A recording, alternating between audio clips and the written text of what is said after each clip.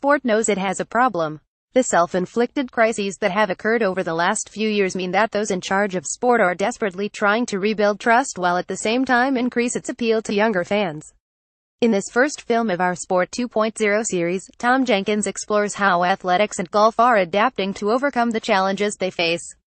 Later, we explore the future of football, motor racing and esports.